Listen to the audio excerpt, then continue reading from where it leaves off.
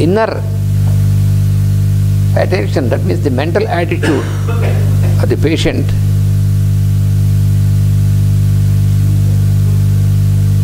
from this what we can know is from this what we can know from this statement, this law is that a shift of the mental attitude of the patient can and also will produce either real freedom from the disease or an intensification of the reactions which produce discomfort, disease, or death. That is the essence of this law.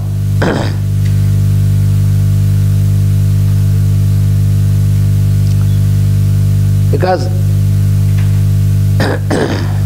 in the previous lines we have studied that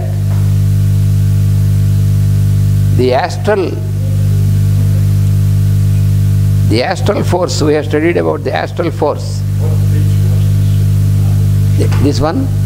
This one 54 54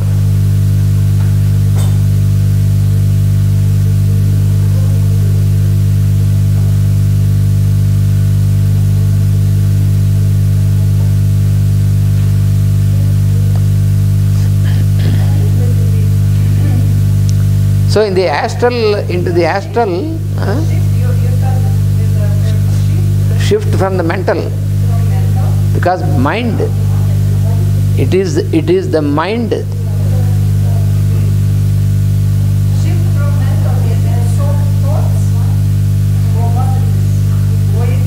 I will explain when everybody listens, then I can explain.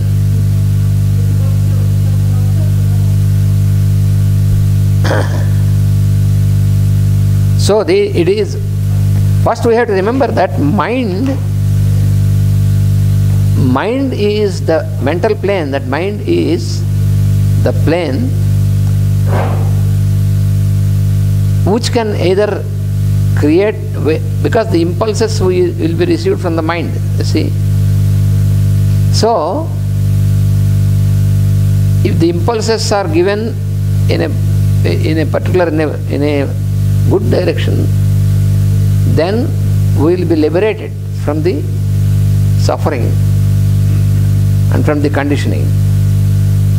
Liberation from suffering means liberation from conditioning. When we are liberated from the conditioning, then we will not have any suffering, we will have always a harmonious experience.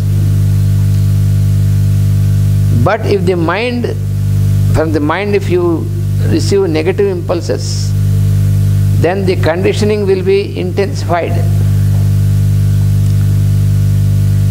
That is why it is mind, this, this, this mind, the level of consciousness which we call mind, is that level where you have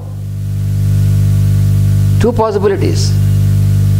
Either, for, either you can be liberated from the conditioning, or you can get into more conditioning which leads you finally into disintegration and death, disease and death.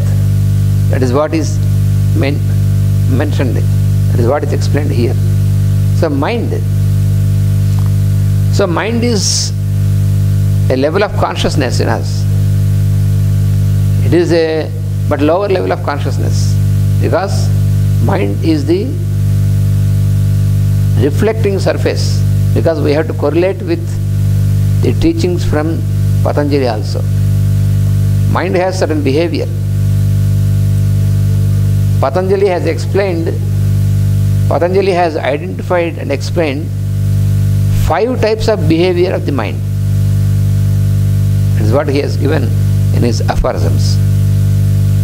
Five types of behavior of the mind. So Patanjali said, suspension of the behavior of mind that is the that is a state called yogic state. If the mind is, as long as the mind is allowed to behave So this if the behavior of the mind continues, it keeps giving impulses into the astral plane.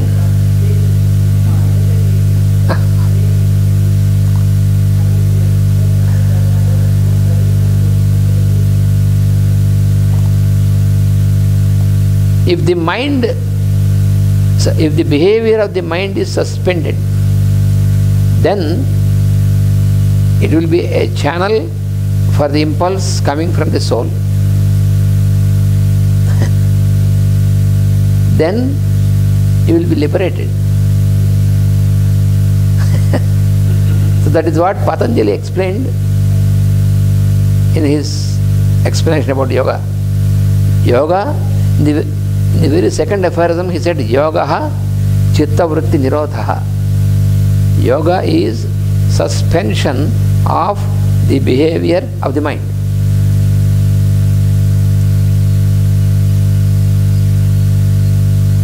And then he explained that you you cannot you should not try to suspend by your effort. That is where many of the students of yoga are failing because even the yoga teachers also, so-called yoga teachers also, they could not understand this. Therefore they say, you have to control your mind. How can you control it?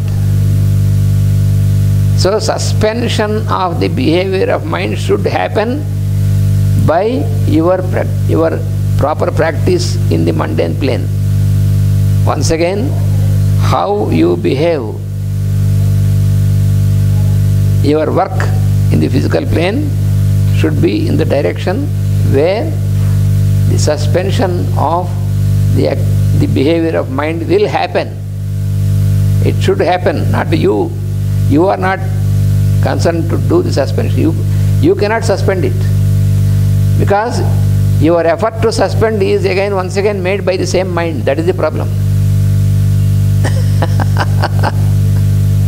that is why we fail.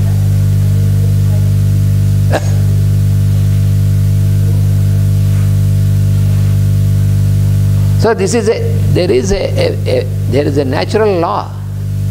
There is a cosmic law. There is according to this law, there will be radiation of soul light, and the behavior of the mind does not allow this to reach the lower levels, the mundane world,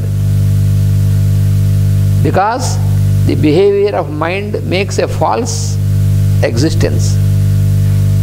So as long as the mind is continue to behave in its own manner, then it behaves in such a manner that it receives all the impressions from outside and tries to behave, make our behavior as a reaction to these impressions.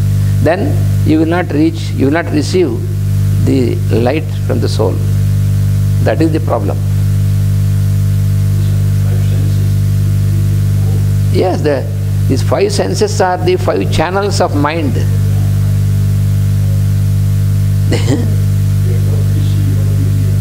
yes. Because the mind gets into contact with the, with the outer world through the channels of the five senses.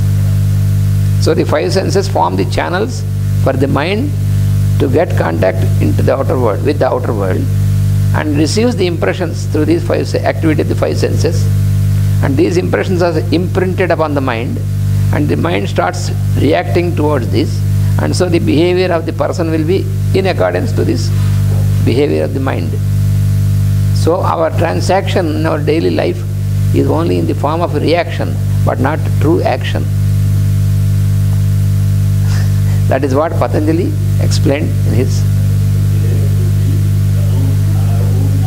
Yes. this is the higher self, yes.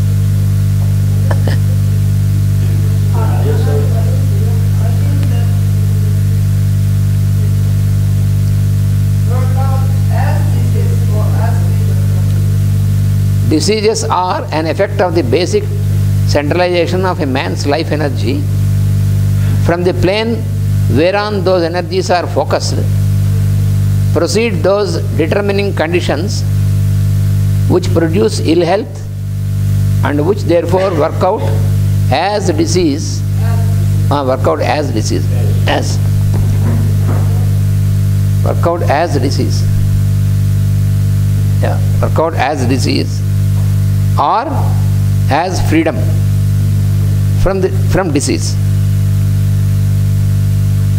So this is so mind is the mind is most important because it is it can either free it can make give a freedom from the disease or it will bring you into the disease. This depend upon how the mind is trained in which direction. So that training is what, what is called yoga in its true sense. that is what we have to know from the from the study of in instinct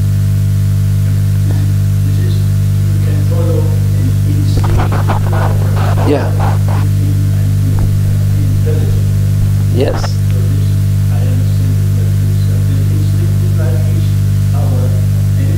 Animal nature. Higher, intelligence from the higher. from the higher, yes. Instinct instinct is lower. Yeah. The reflexes, instincts and emotions are on the lower plane.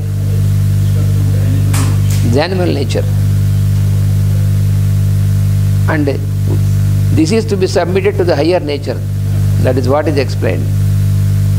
So that process also is explained in, in terms of healing also, in terms of energies, inflow of energy. So now we have exactly the break time.